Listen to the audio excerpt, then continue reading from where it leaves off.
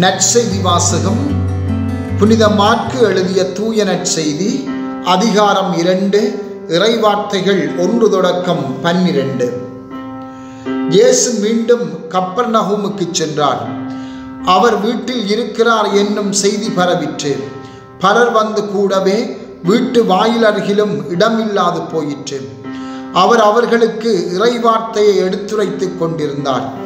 அப்போது முடக்குவாதமுற்ற ஒருவரை நால்வர் சுமந்து அவரிடம் கொண்டு வந்தனர். மக்கள் திரண்டிருந்த காரணத்தால் அவரை இயேசுவுக்கு முன் கொண்டு வர இயலவில்லை. எனவே அவர் இருந்த இடத்திற்கு மேலே வீட்டின் கூரையை உடைத்து திறப்பு உண்டாக்கி முடக்குவாதமுற்றவரை படுக்கையோடு கீழே இறக்கினர்.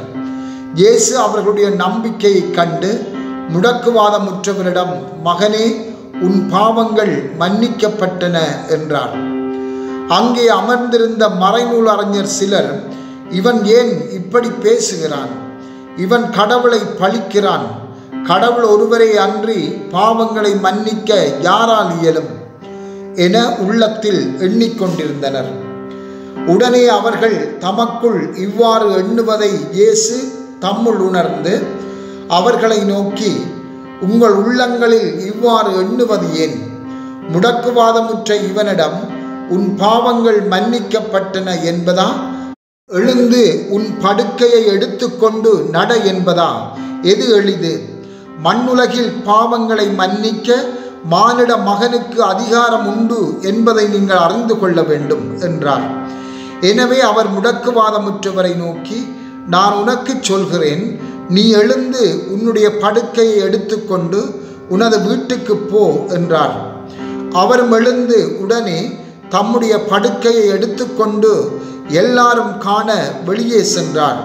இதனால் அனைவரும் மலைத்து போய் இதை போல நாம் ஒருபோதும் கண்டதில்லையே என்று கூறி கடவுளை போற்றி புகழ்ந்தனர்.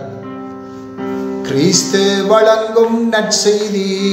கிறிஸ்துவே உமக்கு புகழ்.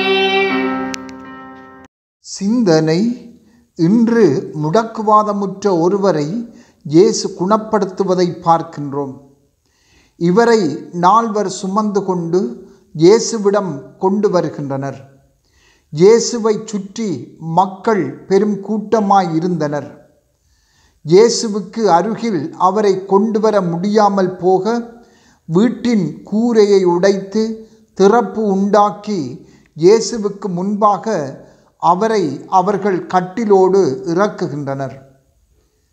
இங்கு நோக்க வேண்டிய விடயம் முடக்குவாதமுற்றவராலே இயேசுவிடம் வர முடியவில்லை. எனவே அவருடைய நண்பர்கள் சிலர் அவரை சுமந்து இயேசுவிடம் கொண்டு வருகின்றனர். இந்த முடக்குவாதமுற்றவர் ஒரு நோயாளி மட்டுமல்ல தங்கள் சொந்த முயற்சியினால் ஆண்டவரிடம் வர முடியாமல் இருப்பவர்கள் தங்கள் சொந்த முயற்சியினால் தங்கள் பாவங்களில் இருந்து திரும்பி ஆண்டவரிடம் வர முடியாமல் இருப்பவர்களின் அடையாளமாக இருக்கின்றார். முடக்குவாதமுற்றவர் குணம் பெற வேண்டும் என்று விரும்புகின்றார். ஆனால் அவர் தம் சொந்த முயற்சியினால் முடியாதவராக இருக்கின்றார். எனவே அவருடைய நண்பர்கள் பெரும் சிரமம் எடுத்து சுமந்து வந்து கூரையில் திறப்பு உண்டாக்கி இயேசுவுக்கு முன் இறக்குகின்றனர். முடக்குவாதம் ஒரு வகையான பாவத்தின் அடையாளமாகவும் இருக்கின்றது. இந்த பாவத்துக்காக ஒருவர் மன்னிப்பை பெற்றுக்கொள்ள விரும்புகின்றார் ஆனால் அவராலே முடியாதுள்ளது. உதாரணமாக போதை பழக்கத்துக்கு அடிமையாக இருப்பவர்கள் அதிலிருந்து விடுதலை பெற விரும்புகின்றார்கள். ஆனால் அவர்களது சொந்த முயற்சியால் விடுதலை பெற முடியாதுள்ளது. அவர்களுக்கு மற்றவர்களின் உதவி அவசியமாக உள்ளது. எனவே இத்தகையவர்களுக்கு நாங்கள் முடக்குவாதமுற்றவரை சுமந்து வந்த கூரையில் திறப்பு உண்டாக்கிய இயேசு முன் அவரை இறக்கிய நண்பர்களாக இருக்க முன்வர வேண்டும்.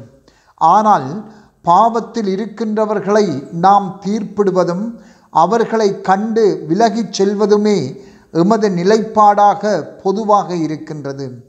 ஆனால் அத்தகையவர்களை தேடிச் சென்று அவர்களை கண்டு அன்போடு உரையாடி அவர்தம் பாவங்களில் இருந்து வெளிவர உதவி செய்வது மிகச் சிறந்த ஓர் அன்பு செயலாக இருக்கும்.